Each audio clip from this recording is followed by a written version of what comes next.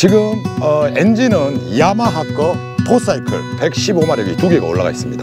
저 앞쪽에 보시면 아이파일럿이라고 하죠. 이 배를 해상에 띄워놓고 자기가 있는 위치를 표시를 딱 해주는 거죠. 네 반갑습니다. 안녕하십니까. 디스코마린 오반순자입니다. 자 지금 뒤에 보이시는 배 설명을 먼저 간단하게 할게요. 일본에서 건조한 배고요. 피트스는 26피트입니다. 밑에 헐 상태가 조금 틀리게 생겼죠? 일반 모노홀이 아니고 카타마린 타입의 어, 피싱 어, UF26 얀마 모델입니다. 자 지금부터 이 배를 제가 소개해 드리겠습니다. 어, 첫 번째 눈에 딱 들어오는 게 뭐겠습니까? 배 외관 상태겠죠? 자 외관 상태를 제가 앞에서부터 뒤로 한번 싹 한번 볼게요 지금 현재 어, 배이 헐면에 이 바탕을 딱 보니까 원지 겁니다. 어, 배 이런 도장이라든가 이런 게 하지 않은 배입니다. 육안으로 봤을 때 거의 흠집이 하나도 없는 것 같아요. 배가 정말 깔끔하게 좋습니다. 닛산, 야마하, 얌마하 브랜드가 있지만 얌마하 배들이 좀 다른 이런 배들보다 좀 강도가 좀 있습니다. 그러다 보니까 좀 더 튼튼하겠죠. 실제 바닷가 나가서 배를 운항을 해도 좀 텅텅거림이 없이 파도를 좀 더 가른다고 보시면 될 거예요. 원래 이 정도 되면 몰딩 상태나 이런 게 조금씩 흠집이 있어야 되는데 지금 이 몰딩도 새 걸로 놓은 것 같아요. 야 밑에 홀 상태가 너무 좋은 것 같아요 지금. 어, 정말로 깨끗합니다. 음. 자, 배 앞쪽부터 뒤쪽으로 제가 한 바퀴 지금 뺑 돌고 있는데, 어, 눈에 보이는 이런 뭐 흠집이라든가 이런 게 거의 안 보입니다, 지금. 아, 상태가 아주 보존이 잘 된 것 같습니다. 자, 뒤쪽으로 한번 가볼게요. 엔진이 한 개가 아니고 두 개가 달려 있습니다. 지금, 어, 엔진은 야마하 거 포사이클 115마력이 두 개가 올라가 있습니다. 이 카타마른이다 보니까 가운데 엔진을 뭐 큰 걸 300마력짜리 하나를 달아도 되겠지만 좌우로 해가지고 115마력 두 개를 달아놨어요. 엔진이 두 개다 보면 실제 바닷가 나갔을 때 뭐 엔진 하나가 고장이 날 수도 있겠지만 두 개가 동시에 고장 날 일은 없다 보니까 한 개가 문제가 생겨도 하나로도 충분히 해상으로 올 수가 있다는 말이죠. 이런 면에서 좀 저는 좀 장점이 있다고 생각합니다. 그래도 지금 현재 상태가 엔진 상태도 그렇고 배 상태가 너무 깨끗한 것 같아요. 자, 지금 뒤에 위 뒤쪽으로 한번 올라와 봤는데 들어올 때 어, 뒤에 이쪽 뒤쪽에 플랫폼이겠네요. 이렇게 엔진을 배를 점검할 수 있는 이런 점검 구간이라고 보시면 될 거예요. 참 이 공간도 상당히 좀 넓습니다. 어, 배를 이렇게 수리할 때 아주 용이하게 이런 발판이 좀 있네요. 자, 지금 콕핏 안에 올라와 있는데, 오, 문이 바닥에 보니까 문이 상당히 많아요. 지금 문이 한 일곱 개 정도가 있는데, 이 뒤쪽부터 한번 봐볼게요. 이쪽 구간이 어떤 건가? 야, 수납 공간이 정말로 큽니다. 어, 이 안에 저는 뭐 어떤 다른 게 있는가 싶었는데 오른쪽 왼쪽으로 보니까 여러 가지 물건들을 수납할 수 있는 뭐 기름 탱크도 좋고 해상에 관련되어 있는 뭐 여러 가지 이런 거를 수납할 수 있는 공간들이 정말로 큽니다. 저 같은 사람 두 명이 들어가도 될 것 같아요. 자, 이쪽에 수납 공간이 또 하나 있고요. 자, 이쪽 반대쪽도 한번 열어볼게요. 오. 자, 이 반대쪽은 축전지실입니다. 어, 왼쪽으로 보니까 배터리가 두 개가, 엔진이 두 개다 보니까 배터리 축전실이 두 개가 있고, 이 배 안에 main selector라고 하죠. 전원을 켤 수 있는 이런 selector가 이렇게 두 개가 있습니다. 야, 관리 상태가 정말로 잘 된 것 같아요. 안에가 정말로 깨끗합니다. 그리고 가운데는 어떤 게 있나 또 한번 열어볼게요.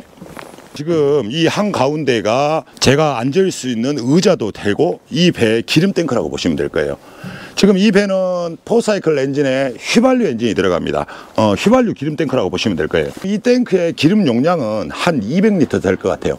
말통으로 10개 정도가 들어가는 아주 큰 기름 탱크가 들어가 있습니다. 야, 기름 탱크도 알루미늄으로 해가지고 아주 튼튼하게 아주 정말로 이쁘게 잘 만들어 놨네요. 이쪽에 기름 탱크 수납 공간 겸 자, 이쪽에 앉아가지고, 어, fishing도 할 수 있고, 이런 넓은 공간에 이런 자리인 것 같아요. 자, 그리고 또, 오른쪽, 왼쪽 한번 봐볼게요. 이런 수납장들이 정말로 많습니다. 어, 야, 입에 특색 있네. 지금 이쪽은 오른쪽, 왼쪽으로 두 개를 동시에 한번 열어볼게요. 아하. 이 배는 이렇게 헐이 오른쪽 왼쪽으로 두 군데로 나눠져 있습니다. 그렇다 보니까 그 헐 공간을 이용해 가지고 어창을 오른쪽 왼쪽에다 이렇게 두 개씩 만들어 놓은 것 같아요. 음 진짜 잘 만들었다. 그 반대쪽으로 열어보니까 이 반대쪽은 수납 공간으로 해도 될 것 같아요. 수납 공간으로 해도 전혀 손색이 없을 정도의 공간. 야 길이가 한 1m 50 정도의 이런 엄청난 이 안쪽으로 큰 공간이 있습니다. 자, 또 반대쪽. 이쪽도 저쪽하고 똑같이 이런 수납 공간이 길게 돼 있어요. 음. 지금 중고 배를 저희가 리뷰를 하지만 지금까지 중고배 리뷰 아 엔진 룸이라든가 이런 수납 공간을 열었을 때 제가 본 배 중에 제일 깔끔한 것 같습니다. 제일 새 것처럼. 지금 안쪽에 콕핏을 돌아봤고 자 이제 운전석 한번 봐볼까요? 자 운전석은 이게 전용 거의 피싱 배라고 보시면 됩니다. 어, 낚시를 즐기시는 분들이 주로 선호하는 배라고 보시면 될 거예요. 앞에서부터 뒤에까지 U자로 이렇게 통로를 움직이면서 편안하게 이동을 하면서 할 수 있는 fishing boat라고 보시면 될 겁니다. 지금 앞쪽에 운전석에 이렇게 계기판을 딱 보니까 메다방이라고 하죠? 어, 오른쪽 왼쪽 이렇게 분류가 되어 있습니다. 그리고 해양 장비는 plotter 그리고 어탐기. 지금 이 앞쪽에 보시면 Humminbird라는 게 들어가 있습니다 자, 이 모니터는 뭐냐면 저 앞쪽에 보시면 i-Pilot이라고 하죠. 이 배를 해상에 띄워놓고 자기가 있는 위치를 표시를 딱 해주는 거죠. 먼 바다에 갔을 때 고기가 있는 포인트에서 그 자리를, 그 자리를 벗어나지 않고 위성하고 연동을 해가지고 이 배를 전동으로 이렇게 머무르게 할 수 있는 기술이 들어가 있습니다. 뭐 대부분 낚시를 정말로 좋아하시는 분들은 포인트를 정확하게 찍고 그 자리에서 벗어나지 않고 fishing을 즐기시는 분들이 이런 장비를 많이 답니다. 뭐 대략 이 장비가 뭐 좀 저렴한 금액이 아니고 평균 한 800만 원, 900만 원 정도 들어가는 아주 고가 장비라고 보시면 될 거예요. 지금 그 장비가 또 장착이 되어 있습니다. 안쪽에 또 문이 조그마한 게 하나 있네요. 자, 이 안에 선실이 있는데 선실도 한번 봐볼게요. 자, 선실. 와. 이 선실이 저는 아내가 뭐 한 사람 정도 조금 할 줄 알았는데 선실이 정말로 큽니다. 두 명, 세 명, 뭐네 명까지도 들어갈 수 있을 것 같아요. 자, 제가 한번 들어가 볼게요. 자, 지금 안쪽에 선실을 들어왔어요. 제가 지금 이렇게 앉아가지고 서 있는데도 높이도 오, 이 정도면 아주 괜찮은 것 같아요. 다른 배들은 뭐 높, 높이가 낮아가지고 머리를 숙여야 되는데 높이도 지금 딱 적절한 것 같고 이 안에서 네 명 정도는 편안하게 앉아서 대화도 할 수 있을 것 같아요. 뭐 특별하게 이 안에 뭐 설치라든가 이런 건 아니지만 쉴 수 있는 이런 공간인 것 같아요. 제가 뭐 누워도 전혀 뭐 문제가 없을 정도의 크기겠죠. 어. 자, 이 정도면 이 안에서 한 두 명 정도는 누워서 자는데도 전혀 문제가 없을 것 같아요. 앉아서는 뭐 한 네 명, 다섯 명까지도 들어올 것 같고요. 근데 뭐 이 사이즈에서 너무나 많은 거를 좀 얻긴 그렇지만 뭐 화장실이라든가 이런 건 없습니다. 지금 이 매트리스를 이렇게 열면 이런 이 배 밑바닥 쪽에다가 또 뭐 여러 가지 수납할 수 있는 이런 수납 공간도 있습니다. 아, 이쪽에는 지금 앵커를 하나 넣어놨네요. 자, 이 바닥 밑에에도 이 수납할 수 있는 이 수납 공간이 상당히 큽니다. 여기도 한번 열어볼까? 오, 수납 공간이 전부 다 있구나. 이야. 크다 크다. 이 바닥 밑으로 해가지고 이 전면이 다 수납공간이라고 보시면 될 거예요. 물이라든가 뭐 음식 같은 거 이런 것도 보관할 수 있고 뭐 낚싯대라든가 아니면 기본 물품 같은 거를 이 안쪽에 넣어서 보관할 수 있는 이런 공간이라고 보시면 될 겁니다. 뭐 꽉 막혀 있는 느낌도 안 듭니다. 뭐 밖이 다 잘 보이다 보니까. 음 좋은 것 같아요. 방금 나왔습니다. 이 피싱보트다 보니까 낚시인들이 자그마한 사이즈 안에서 얼마만큼 이 효율적인 공간들이 많고 어, 쉬어가면서 운전할 수 있는가 저는 이런 거를 좀 고려를 많이 하거든요. 모노울 단등선보다도 이 카타마란이다 보니까 배 폭이 훨씬 큽니다. 예, 30에서 50cm가 더 높다고 보시면 됩니다.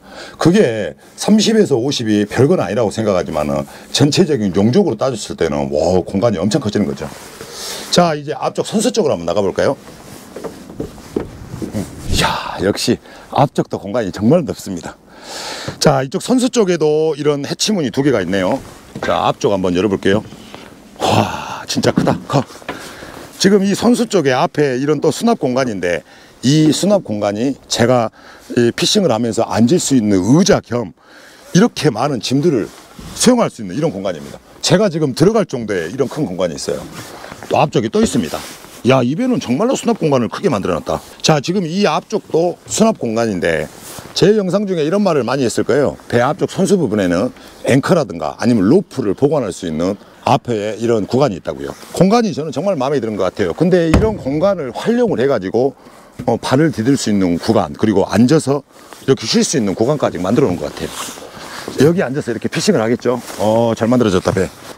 자 지금 선수 쪽에는 어, 다른 배들도 마찬가지로 윈치 어, 윈치가 지금 큰 게 달려 있습니다 윈치 작동도 아무 이상 없이 잘 되고 있고요 지금 이렇게 왼쪽으로 보니까 이런 철판에 이런 뭐 끼다란 뭐 낚싯대처럼 노처럼 이게 달리는 게 있습니다 i-Pilot이라는 전동 모터라고 보시면 될 거예요 이 시스템이 실제 바닷가에 나갔을 때 제가 원하는 그 목적지에 딱 사가지고 배가 어디도든 이동 안 하게끔 잡아주는 시스템이라고 보시면 됩니다. 민코타, 어, 민코타 울테라라고 적혀 있네요. 이 브랜드가 지금 대부분 이것도 수동하고 자동으로 연동이 되어 있는데 이거는 올 자동 시스템입니다. 어, 하나의 버튼으로 해가지고 이거를 뭐 자동으로 올려서 내리고 그리고 그 위치까지 잡아주는 시스템이 또 장착이 되어 있네요. 얀마 26피트입니다. UF 타입에. 가격은 5,900만 원입니다. 지금 엔진이 twin 엔진에 115마력짜리 엔진이 두 개가 있고 이 정도 관리 상태라고 한다면 저는 아주 괜찮은 것 같아요. 이 선주님이 가격 절충 많지는 않지만 조금은 해주신다고 합니다. 그리고 향후 3개월 정도는 무상 AS 있습니다. 3개월 안에 엔진이라든가 문제가 있을 때는 100% AS가 보장이 되다 보니까 너무 걱정 안 하셔도 됩니다. 중고배 리뷰를 마치겠습니다. 감사합니다. 디스코 마린 오버한순이었습니다.